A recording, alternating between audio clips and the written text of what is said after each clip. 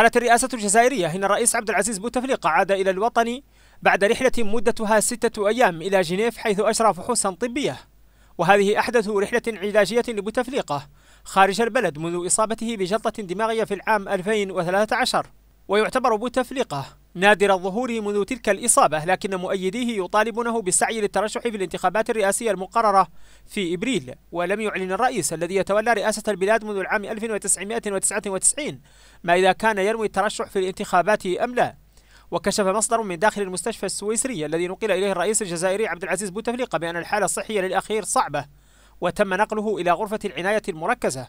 وقال المصدر في تصريحات لموقع الجزائر تايمز بأن بوتفليقة يعاني من مرض السرطان كما يعاني من عدة أمراض.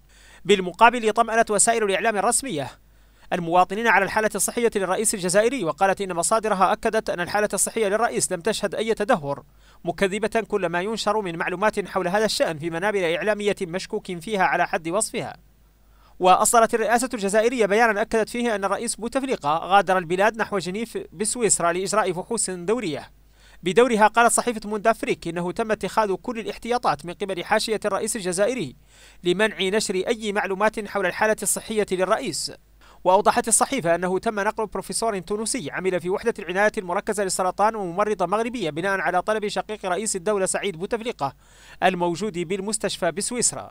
وكان بوتفليقة قد تعرض في إبريل 2013 لجلطة دماغية نقل على إثرها للعلاج في مستشفى فال دوغراس بباريس ويبلغ بوتفليقة من العمر 81 عاما.